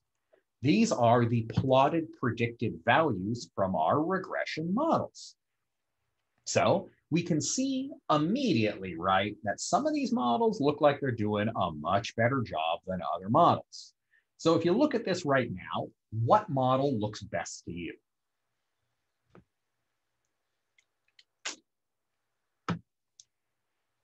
Quadratic is a good one for me. Two of the models are indistinguishable, right? So you'll notice here, quadratic is kind of a turquoisey sky blue thing. Cubic is kind of a lavender. What we actually have is an intercept only model, a linear model, and then the quadratic and the cubic occupy an identical space across their entire range, generating a color that is halfway between the quadratic and cubic color. Okay. These models are giving exactly identical predictions across the entire range of data. So if you know, I mean, if you've taken a statistics class, that immediately tells you which one of these models is probably better. It's the one that has fewer parameters, the quadratic model. But if you're doing something more complicated, it's kind of hard to tell. We might want to figure out another way other than eyeballing the data to guess which one is the better model, which is what we're gonna do next, okay? So what we're gonna do is we're going to talk about cross-validation. I'm going to scare you a little bit with uh, some statistics stuff and some uh, complicated coding. Um, but I'm going to teach you something here that is powerful and useful. And if you ever have to do cross-validation manually in some other class, you will have seen it and you can steal and adapt this code so you don't get traumatized by the experience of having to do a very complicated thing with, with essentially no programming background in it, which I had to do in at least two of my C classes way back in the day before I started teaching this R class. Okay. So, um, yeah. Cross validation, basic idea is it's a method for estimating how well a model makes predictions on data not used to fit the model. So imagine that what you do is you take a data set, you leave out some of the data, you fit a model using it, but then you run predictions for the data that were left out. That's our process. So the procedure works like this. It's called typically k-fold cross-validation because the folds are how you break up your data. You split your data into k as a number folds. These are pieces. You could call it, if it's k is five, you break your data up into five pieces. So in this case, I think the example we're going to do, we're either doing five or 10. I think k equals 10 in our example, but you can do it. You'll sometimes see uh, cross validation. But the largest one is called uh, leave one out cross validation, which is when you take, if you had 10,000 observations, you do 10,000 folds. Okay. Um, we're basically breaking our data up into 10 pieces. So you split your data up into however many folds you want. Then for each one of your folds, beginning at fold number one and going up to k folds, this is how you know we're going to loop for i equals one to k, we do this we fit a model to all the data except the data in the fold we're currently on. If we have five folds, we'd fit our data using four of them. Then we make predictions for the data omitted in the fold we're currently on. So if we have five folds, we would leave out 20% uh, of our data, fit a model using 80% of it, and then make predictions on the 20% we left out. Okay, and then after doing predictions for every single one of those folds, we would calculate something like the mean squared error for all of the predictions we did across all five of the folds. Mean squared error is this formula right here. The mean squared error is equal to the mean of the squared errors. An error is the actual observed y value minus your prediction you square it to get the squared error, and then you take the mean of it to get the mean squared error. Okay, we're going to calculate MSE. There's other things you could do like mean absolute error, whatever you want. okay, so the idea is that a model that does a good job, that fits data well, will have a low mean squared error. Models that are too simple for your data will get a bad mean squared error. But the nice thing with MSEs and cross-validation is models that are too complicated also make bad predictions and will tend to have higher mean squared error.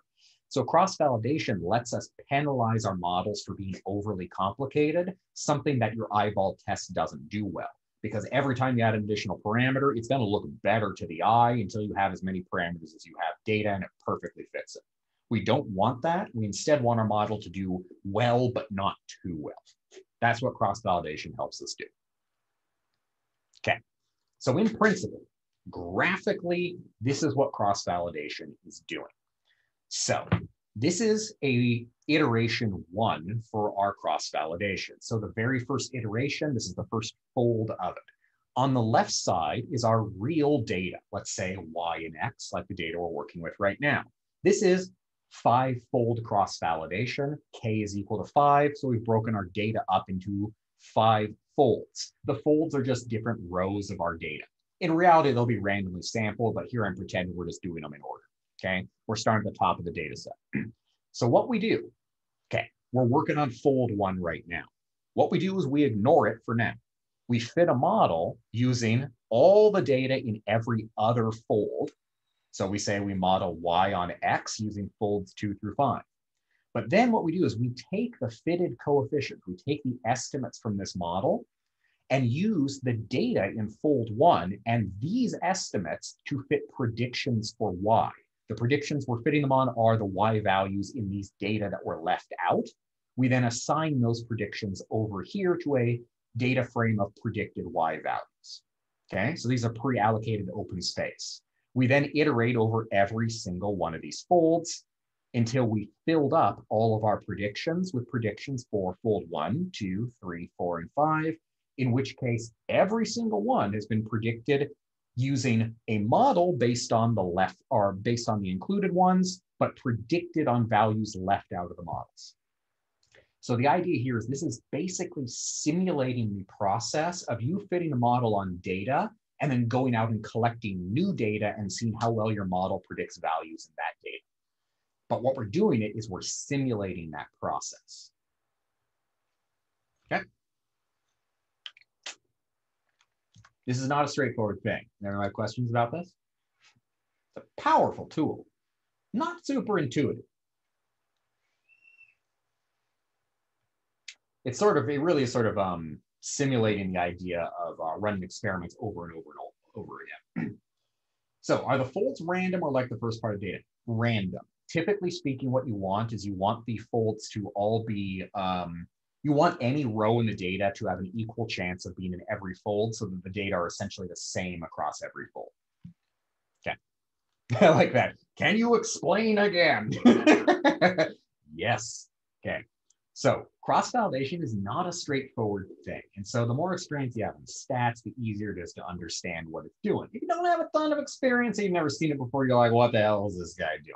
And that's okay. Even if I re-explain it here and you don't understand it, read on it or ask me for resources, I'll send you more. You might never have to do cross-validation in your life, but you'll probably see people talk about cross-validation in journal articles you read and stuff like that. It's nice to know it is not a magical thing. It's a purely mechanical process for estimating the error in your models. Okay. So again, the gist of it, you split your entire, this, this whole thing right here is your original data, your data frame. Imagine you chop out about a fifth of your data in this particular example, and you run your model on all the other data. We're actually going to do this here in a second, so you'll see it programmatically. We run the model using this. We then pull out the coefficients, right? The coefficients are like, you know, um, the intercept plus the beta value on X for a linear model. We extract those coefficients. We then literally just uh, calculate a predicted value by taking, let's say our intercept is zero and our beta is 0.5. Our prediction would just be zero plus 0.5 times each one of the X values in this row. We would assign those predictions here. That's it. We extract those predictions. We do that over and over again for every one of our folds giving us five sets of predicted values, which correspond to um, that sort of process we just did before. for the last fold right, we take the first four fifths of our data, fit a model on it, use the last fifth of our data with those coefficients to make a prediction. Once we get done with running all these predictions, we just look at the difference between these predictions and the actual Y values. And a good model has small differences, a bad model has big differences. The thing I like about cross validation is you don't really have to know um, a lot of like statistical theoretical stuff. It's a purely programmatic thing. So instead of learning about how like certain kind of complex fit statistics like aics and bics like information theory measures work you can instead just mechanically do this and it's purely intuitive. It's like leave some data out fit a model run a new model or run predictions using what we left out as if we'd encountered new data if our model does a bad job we have a bad model that's it right so you can imagine this in terms like the stock market, which is like the worst place to run prediction models because you're basically always wrong. Um, but you can imagine like the stock market. You come up with a model that beautifully predicts stock prices in your data set. You fit your model. Okay. You buy a whole bunch of stocks based on your model. Okay. The cross validation component of that is a month later, are you broke or have you become very rich? A good model would have made you rich. A poor model would leave you broke.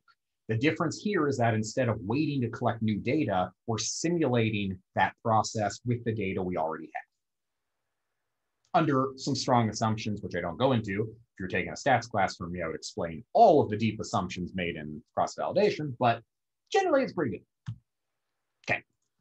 An interesting fact, the AIC criterion, the, the Akaike information criterion, um, for comparing model fit is actually based on um, an information theoretic uh, version of cross validation. So theoretically, AIC was designed to give you the same result you get from a cross validation result, but collapsed into a single easy to use statistic. Okay. If you do simulations, you'll find the AIC matches on the cross validation very often pretty well. Though I think it's based on leave one out cross validation, which isn't the most aggressive thing. Anyway, tangents.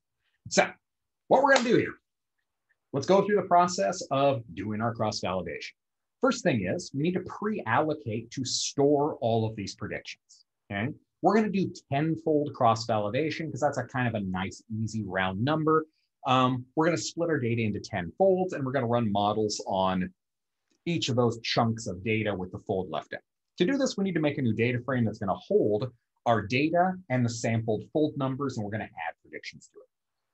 So what we're going to do is we're going to get the folds in our data using the sample function without replacement. The idea here is we want to randomly assign each row of our data to a different fold. So every fold has an equal chance of being in each, or every data point has an equal chance of being in each fold, but they're randomly assigned.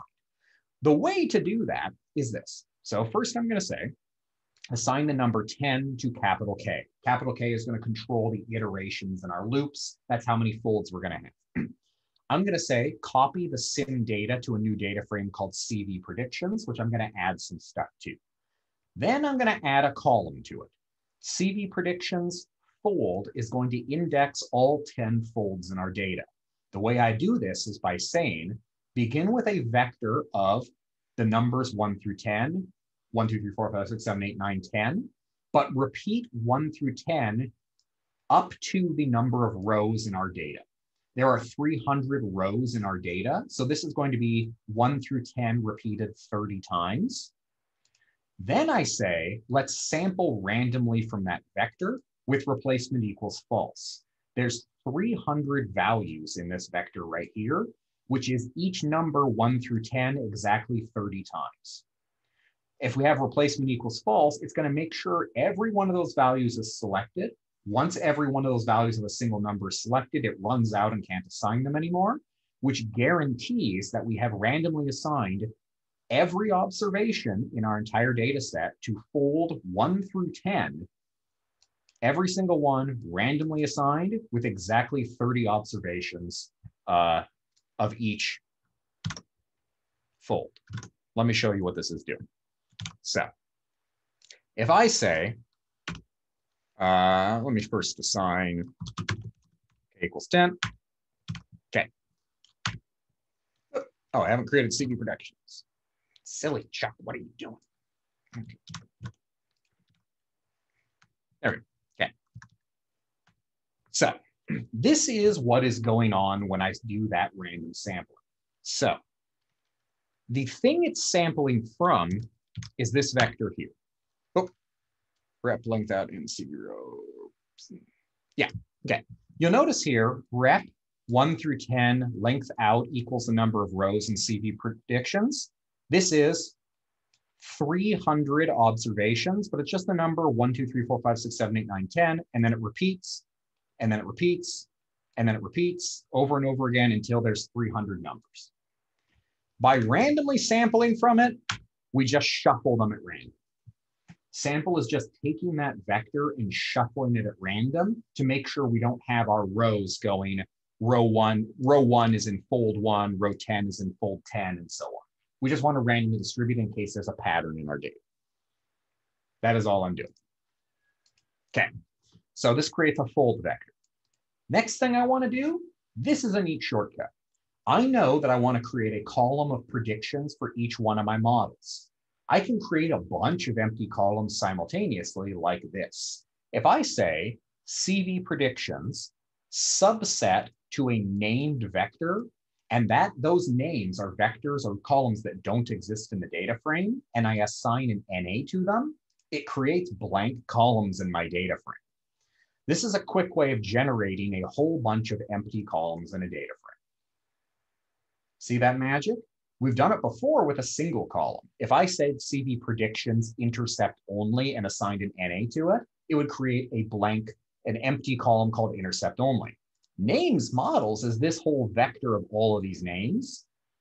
If I assign to it as a column index, I assign NAs, I get a whole bunch of empty columns.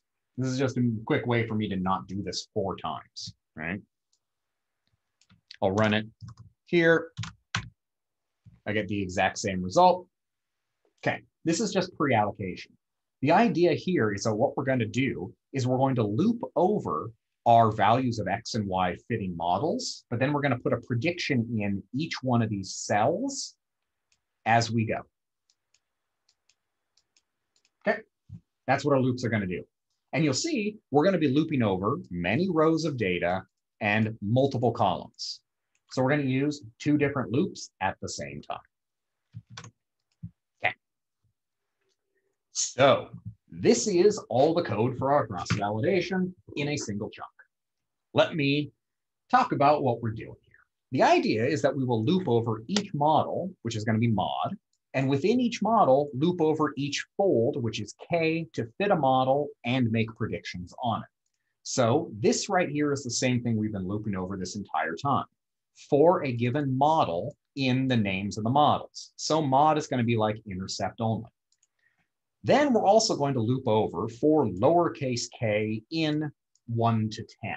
So this is going to be the numbers 1 through 10, one at a time. So let's walk through what a single iteration of this looks like. For the first iteration, mod is intercept only, and k is 10. So we're going to assign create an object called fold rows. We're going to assign to it the CV predictions dollar sign fold equals equals K. So CV predictions dollar sign fold equals equals one for our first one is going to produce a logical vector of trues every time the, the data, the particular observation, the row in our data is in fold one, and it's going to produce a false when it's in any other fold than one. So this is just a true and false index, which indicates if the given row of data is in our current fold or not, which we're going to use for subsetting. We're then going to create a temporary model, assign to it a linear regression model. The formula is again, models subset to our current mod, which is intercept only. But the difference from our prior models we ran is we're going over a subset of the data. The data equals our CV predictions data set, but not the fold rows. So the fold rows are the rows that we are in our current fold. If you remember this, the way cross-validation works, we want to not fit our model on the rows in the fold. So we say, this is trues and falses. The exclamation point turns the trues to falses, the falses to true. If you give a bunch of trues and falses in a position and subsetting, it drops all the falses and keeps the trues. This discards all the data in our fold rows and fits the model only to the data not in our current fold. So this model has been fit to 270 of our 300 observations. We then assign to our CV predictions data frame for the rows in our current fold and for the model we're currently on.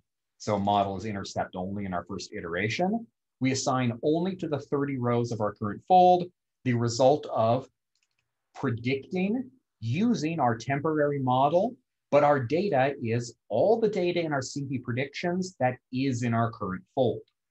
This is what that diagram I showed you earlier is. We fit the model on the data not in the fold, and we fit the predictions on the data that is in the fold. So this difference here, not the fold rows versus the fold rows. Okay, that makes sense. It's okay if it doesn't. This is a fairly complicated thing. But if you have questions about it, let me know. The magic here is what's going on up here. So this code here runs one time for each model and for each fold. There's 10 folds and there's four models. So how many times does this code here run? Yeah, this loop makes all this code in here run 40 times. This is the magic of iterative operations and loops. So what it's going to do is it's going to run over all 10 folds first, then go to the next model, and then run over all 10 folds, and then go to the next model, and then run all over 10 folds, go to the last model, run over all 10 folds. Iterative operations are confusing, but incredibly powerful. So chew on that in your brain. Due to time, I'm going to keep moving along. so the next thing we want to do is let's write another loop that can compute the mean squared error from our cross-validation predictions. The idea, right, is the squared error is just the difference between the real values and the predictions. We then square it and take the average of that. So what I'm going to do is I'm going to create a vector called CVMSE. I'm going to assign to it set names, numeric length, the number of models. So it's going to be a blank numeric vector of length four, that's how many models we have, with names equal to the names of the models. It's this vector down here with no numbers in it yet. Intercept only, linear, quadratic, and cubic. I then say, again, for each model in the names of the models, we do this. I'm going to say my predicted squared error is equal to my actual CV predictions Y, so my actual Y value outcome, minus the predicted value of Y. So CV predictions intercept only is all the predicted values from our cross-validation of Y. We take all these differences, we square each one of them. That gives us a vector of all of our squared errors. We then take the mean of those vectors to get a single number for each model, which we assign to CVMSE intercept only, CVMSE linear, quadratic, and cubic. I display this vector, and this is the mean squared error for all of our models. In this particular toy example and this particular time I ran it, we even got the same mean squared error for quadratic and cubic. So our cubic model actually didn't do a bad job predicting our values. Okay, you look at this, the way mean squared error works, it's a really easy metric. You don't care about the raw number, you care about which one had the lowest number. In this case, quadratic and cubic have the same number.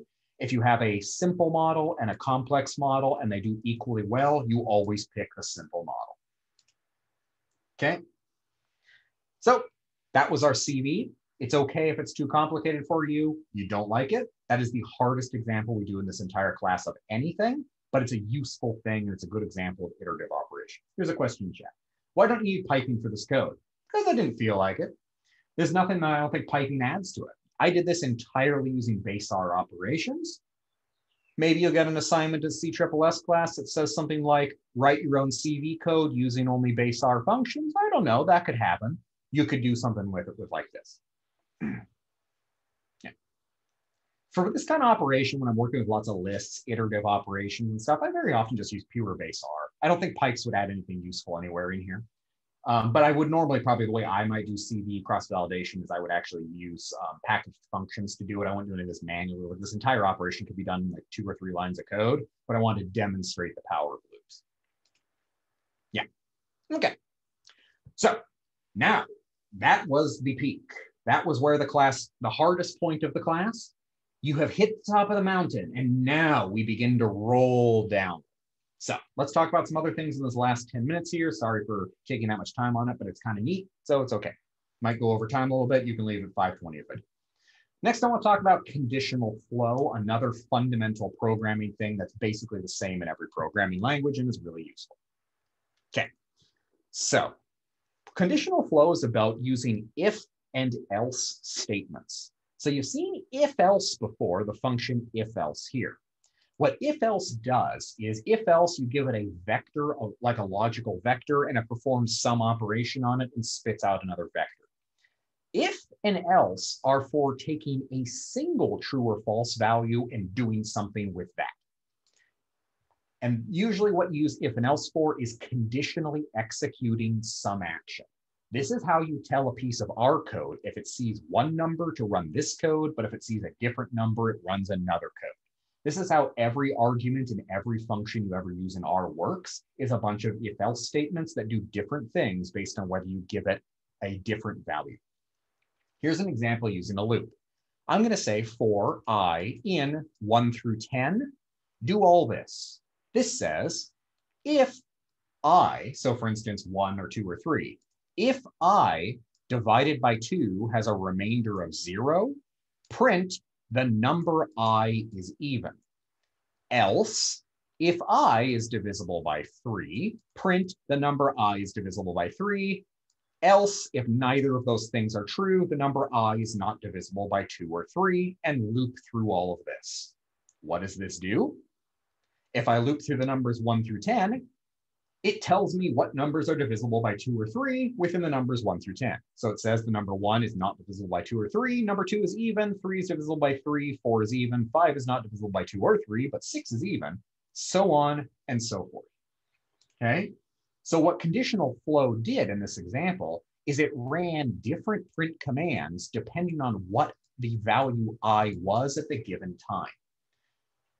Okay, this can be pretty powerful for doing all sorts of different things. And basically everything in your computer is based on a combination of loops and if-else statements. If you get really good at them, you can more or less recreate computing from the ground up. okay, so let's see more examples of this stuff. Uh, I think I've got, okay.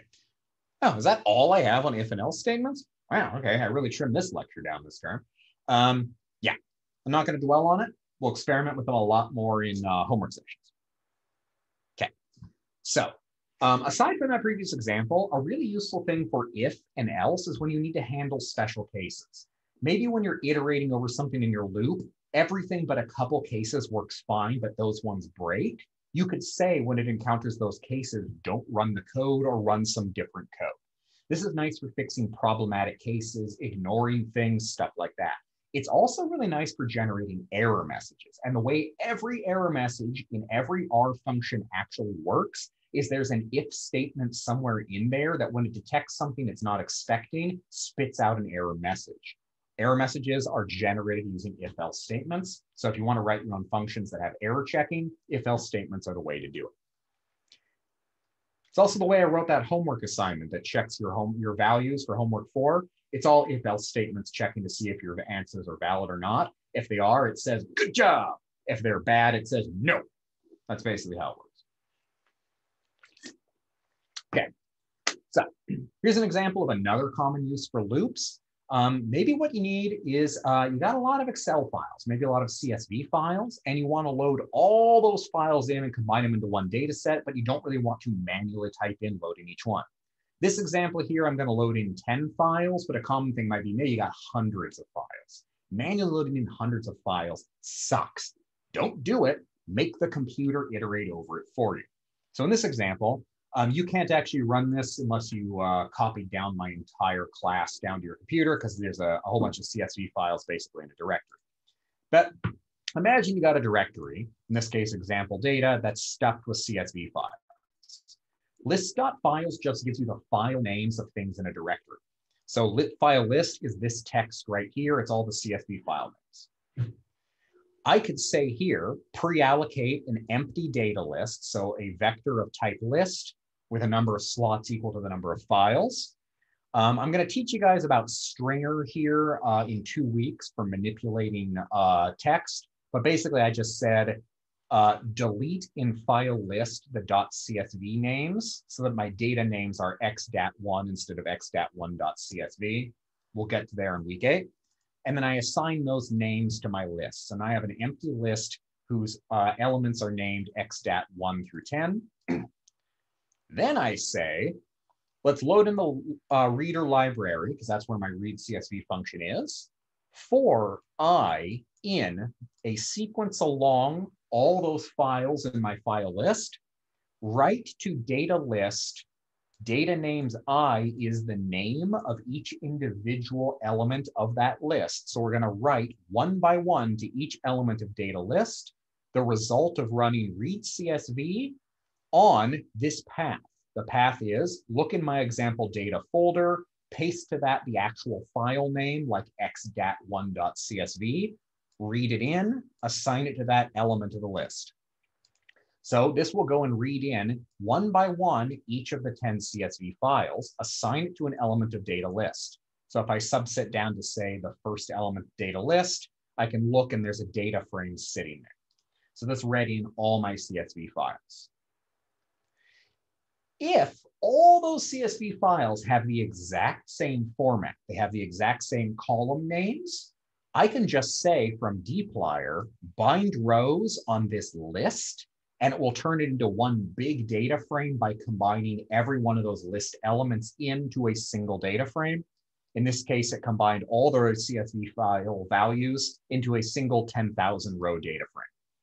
So if you got a whole bunch of files with an identical format in a folder, maybe hundreds of them, use this kind of code to read them in. Okay, next type of loop, I'm actually going to show you an even faster way to do it, I think, at the end. Next type of loop I want to talk about is while loops. a lesser used looping structure, but still useful in R, is the while loop. Rather than iterating over some predefined vector, this is a loop that just keeps going until some logical condition is no longer true. Here's an example. Let's figure out how many times we need to flip a coin to get four heads. We don't know how many times we've got to flip it, so we're going to keep flipping until we get four heads. I'm going to start by saying the number of heads is zero because we haven't started flipping yet. The number of flips we've done is zero because we haven't started flipping yet. While the number of heads we flipped is less than four, keep running all this code. So the current coin flip is the result of a draw, random draw for a binomial distribution. One draw of size one with probability 0.5. This right here randomly returns either a zero or a one with equal probability. Then if this coin flip was equal to one, I'm gonna say increment the number of heads. So we take the current number of heads, add one, and overwrite number of heads with it. Then whether or not it was heads, increment the number of flips by one. This keeps going until the number of heads is at least four. Then, when I knit these slides last time, last week, the number of flips that were required to get four heads was six. Every time you run this code, you might get a different answer because it has to flip a different number of coins. While loops are useful for that sort of simulation. Now, interestingly enough, this exact same thing how many times would you have to flip a coin to get a number of heads is actually what a negative binomial distribution measures. How many trials you have to get to get a given number of successes. So if you ever see a negative binomial model, it's based on that sort of distribution. Okay, so moving on. Last thing I want to talk about is vectorization. So if we had a large vector of numbers, here I've created a uh, 100 million draws from a standard normal distribution and assigned them to my vector. Let's say we want to add the number one to each one of those draws. I could do this with a loop. I could say this here for start proc time is me just starting a clock to see how long this operation took. I say, let's assign a new vector, which is a bunch of NAs equal to the length of my my vector. So this is a length 100 million NA vector. I then say, for a given possession, a position in 1 to 100 million, go assign to new vector that position the result of my vector that position plus 1. What this is going to do is it's going to go element by element down 100 million entries, adding 1 to each one of them and assigning the result of that to a new position in this vector. When I knit these slides last time, that took 95.11 seconds. Just, I think, the slowest I've ever seen that happen on my computer. So I clearly must have been running Zoom or something in the background when I knit these slides. Okay. That took 95 seconds to add the number one to every element of a vector. And I had to write all that code. Instead, I could do this.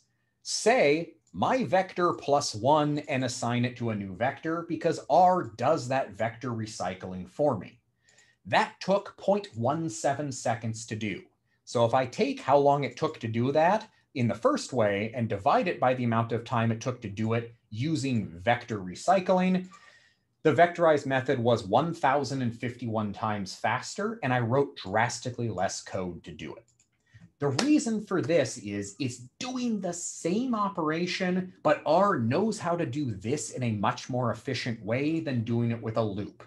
There's many operations in R which are under the hood of R vectorized or written in a faster programming language or handled by the math library on the computer. It can do them way faster than doing it for a loop. So loops don't just suck to write, as you've seen this entire lecture, they're also slow. They have very few redeeming values. Okay, so the idea I want to get is after traumatizing with all that loop stuff, I want you to remember that and do whatever is possible to not write a loop in the future. So there's lots of functions in R that do things you might do with a loop for you so you don't have to write a loop. For instance, if you want the sums of your rows or your columns, the means of your rows or the means of your columns, use those functions and don't write a loop. If I have a matrix that looks like this, and I want to get the row sums of the matrix, I can say row sums of that matrix and it will give them to me and I don't have to write a loop. This is way better than writing any loop in any situation. It's one function call. It may even have a loop inside of it that somebody else wrote so they had to do the difficult job. You don't have to. Okay. Don't write loops whenever you can. Other examples of these are cumulative sums, cumulative products, cumulative minimums, cumulative maximums. So if I say, give me the cumulative sum of one through seven, oh my God, there's the cumulative max, the cumulative sum of one through seven. So I didn't have to write a loop to do it. Things like position maximum, position minimum will take position max, for instance, takes a bunch of vectors and it tells you what is the highest number in each position of these vectors. So it's going to look at the first position of each vector and return the highest number. In this case, it's two for the first position, two for the second position, and four for the third position. Two, two, four. Didn't have to write a loop to do it. Pmax does it for me. Okay.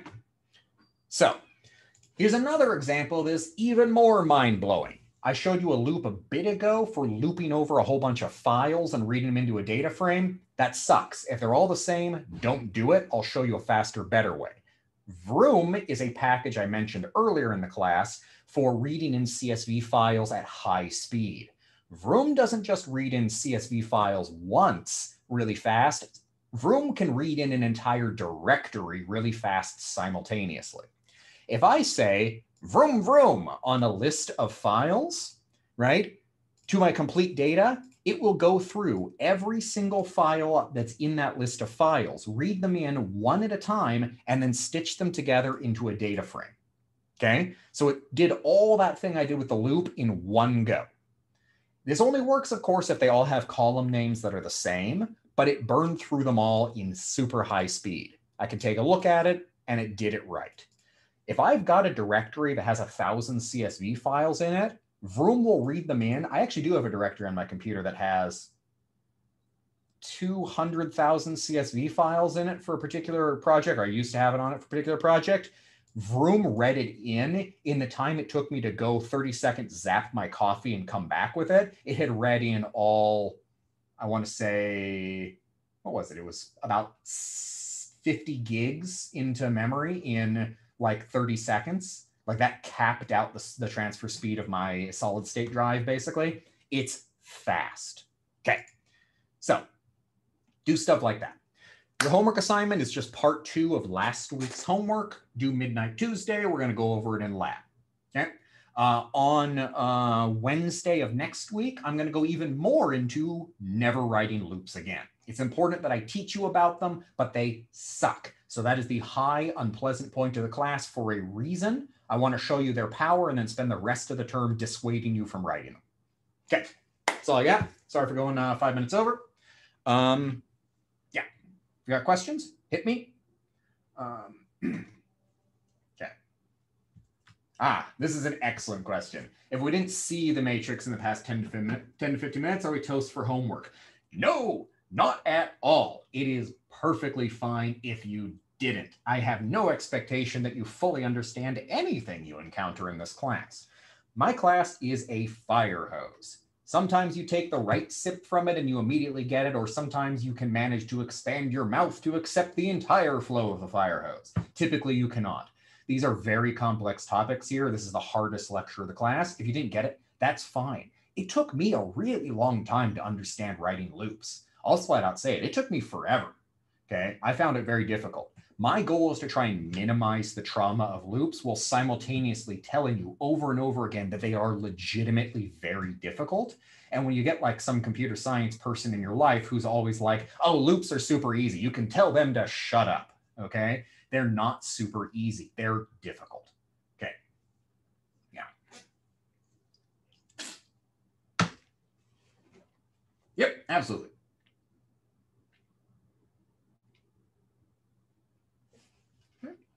Stop share, stop recording.